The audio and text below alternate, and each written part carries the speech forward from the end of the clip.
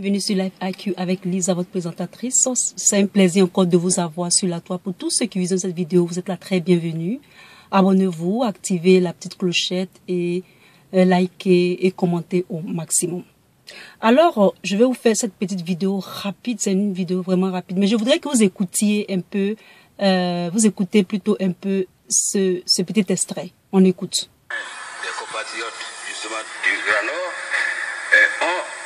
Projet séparatiste. Ils veulent créer la République du Nord. Et justement, euh, ils sont en train de faire circuler un document, un document volumineux, euh, qui s'appelle la Charte du Nord. Alors, je voulais savoir comment le Premier ministre s'est défini euh, par rapport à ce projet.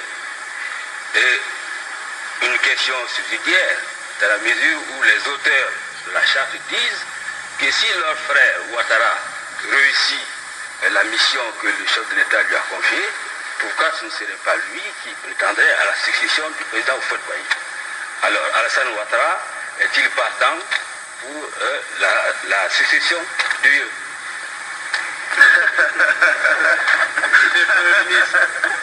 Avez-vous des ambitions de ce type Mais écoutez, la tâche est assez dure maintenant. Hein. Je crois que chaque chose en son temps. Mais ceci étant, il faudrait que je précise euh, à nouveau ce que j'ai dit à notre frère Lacoué. Je lui ai dit que euh, il faut qu'il se mémorise sa géographie et son histoire. Que les frontières actuelles de la Côte d'Ivoire n'ont pas toujours été les frontières antérieures de la Côte d'Ivoire.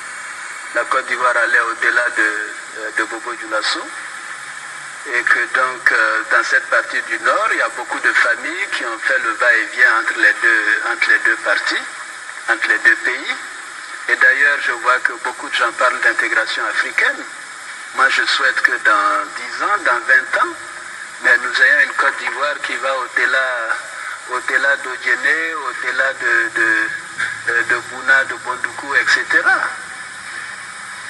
au-delà de Wangolodou, etc., que, ce soit une Côte d'Ivoire euh, avec peut-être un autre nom qui englobe le Mali, le Burkina, le Ghana, etc., pourquoi pas C'est ça la réalité. L'Europe vient de nous donner l'exemple. Pourtant, ils sont plus nombreux que nous, ils sont plus forts que nous, ils sont plus riches que nous.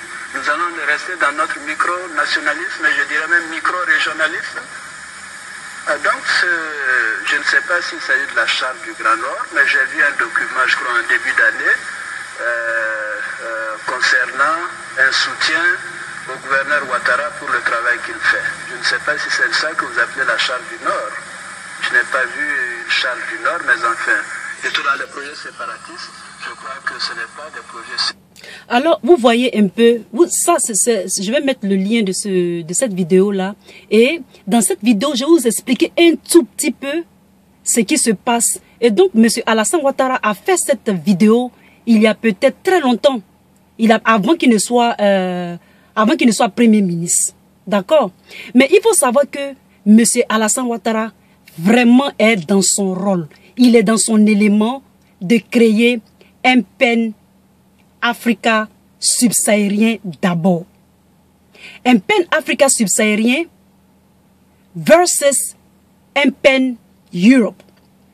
Le PEN Europe, c'est une conception que le nouvel ordre mondial renchérit, nourrit, pour que le futur homme soit érasio-négroïde.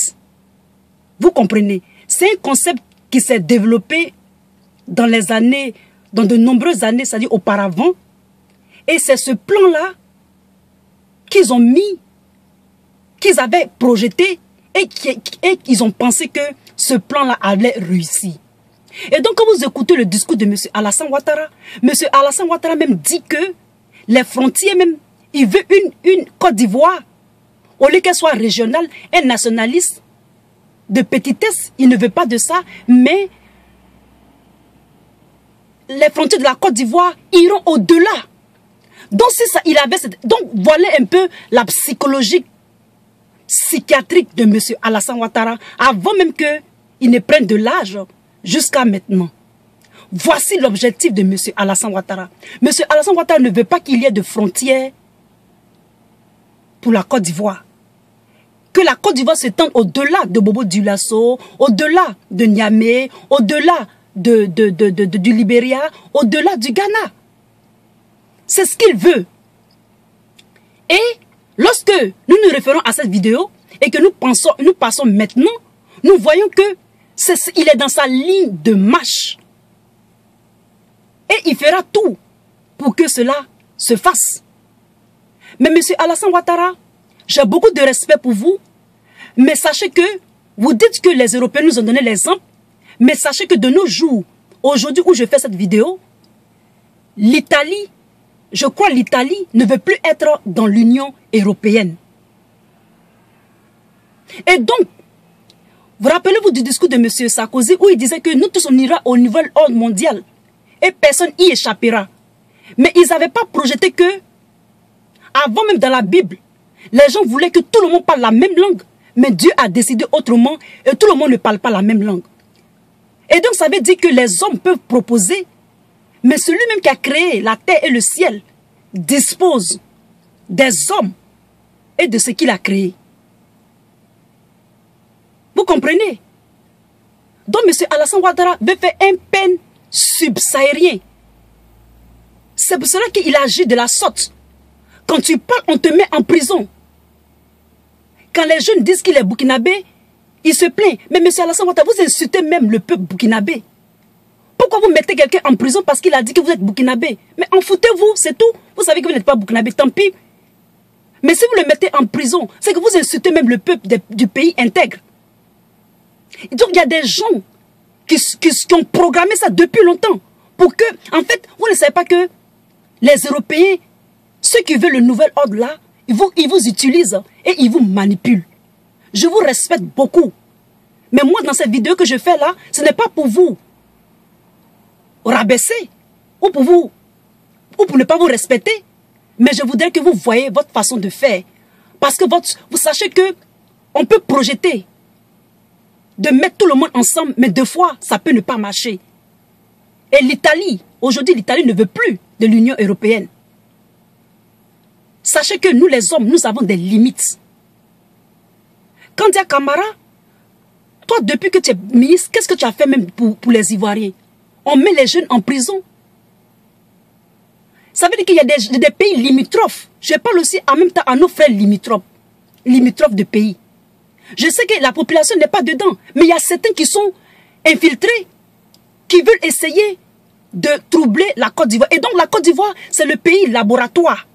Si on a pu déstabiliser la Côte d'Ivoire et mettre la main sur la Côte d'Ivoire, il faut savoir que elle n'aura plus de frontières et ça va se tendre. Et c'est pour ça qu'ils essaient d'aller au nord. Et nos frères du nord, c'est-à-dire nos frères comme l'Algérie, la Tunisie, la Libye, ils essaient de, de faire c'est-à-dire qu'ils essaient de mélanger un peu le subsahel, le, et puis les Noirs vont en haut. Comme ça, si les Algériens ne disent rien, si les Tunisiens ne disent rien, ça va mélanger l'Afrique. Alors que si on est mélangé, ce qui n'est pas, il y a des bons côtés, mais il y a des mauvais côtés, on va perdre notre culture. Il faut savoir que même pour les États-Unis, pour que les États-Unis soient les États-Unis, il a fallu plusieurs peuples. Les Noirs, les, les, Européens, les Français et tout, cela, ils ont pu anéantir les Indiens.